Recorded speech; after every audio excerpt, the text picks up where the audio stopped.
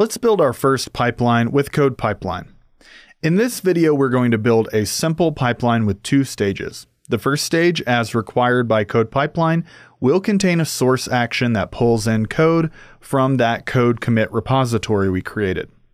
Then that action will output the source code as an output artifact. The next stage will just have one build type action that uses code build to install our application dependencies and build the client code with Webpack. The demo project for this course is the new web experience for Hamster Ball Fantasy League that Emma and her team are developing. All of the basic functionality is already completed and only the pipeline needs to be built out. Go to the Code Pipeline dashboard in your browser. Then click on the Create Pipeline button. First, we'll name the pipeline. Enter HBFL here. AWS will pre populate a name for a new service role to be created specifically for this pipeline. It'll also attach all the necessary policies for the role. If you had an existing role you wanted to use, this is where you'd attach it. But we're just going to use the AWS created one in this demo.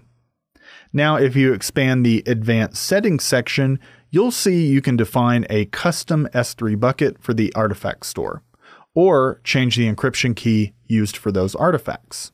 The defaults here are fine for us, so go ahead and click Next. Now we need to add a source stage. This is a requirement for all pipelines, which is why you can't skip it. In the dropdown, you can see the available providers. This list has actually grown in the past couple of years as AWS releases new services and adds functionality for third party providers. Select AWS Code Commit. Now you'll have some new prompts. Click into the repository name prompt and it will open an autocomplete dropdown. If you only have a few repos and code commit, then you should see HBFL here without having to type it in. Select HBFL. Now we need to select which branch in the HBFL repo that this source action will actually pull from. Click into the input box and select master. Now there are two detection options here for detecting changes, using CloudWatch events or polling for changes. Polling was previously the only available option for initiating a code pipeline execution, but now CloudWatch events are the default and recommended method. Leave this selected and click Next. Now we have the option to set up a build stage and action. Click in the drop down and you'll see the available build providers. Select AWS Code Build. The region will default to whatever region you're currently in, which is fine. Now we have to designate a code build project to run here, but we haven't actually built one yet. So we can use this create project button to build that. So click it. This will open a new window to create this new project. Let's name it HBFL-build. No need for a description. And then next, we'll define the environment that we need for our code build project to run on. We're going to use a managed image and we'll just use a regular version of AWS Linux. In the operating system dropdown, select Amazon Linux 2. In the runtime dropdown, select Standard. And then in the image dropdown, select the option using the x86 architecture that ends in 2.0. The rest of these options are fine as is. Now, CodeBuild uses build commands to know what to do. It, it runs them.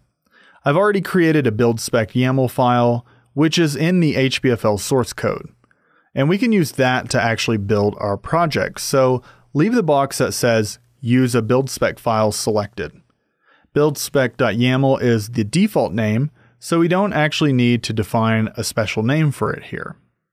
The default CloudWatch logs is fine for us. And now that we've defined the environment and what needs to run for the job, go ahead and click the Continue to Code Pipeline button. After some time, the pop-up will close and the job we just created will be populated in our build action. Now we can click Next to continue. Here's where we could add a deploy stage, but we're just going to skip this for now and add one in a later video in this module. So click the Skip Deploy Stage button and then skip. Finally, Here are all the details of the pipeline we configured. If everything looks good, go ahead and click Create Pipeline. And now your pipeline is complete, and it'll kick off its first execution. You can watch it in real time as the UI will update as the execution proceeds. And when it's completed, it will have pulled your code from the code commit repository and then built it on code build in that build action.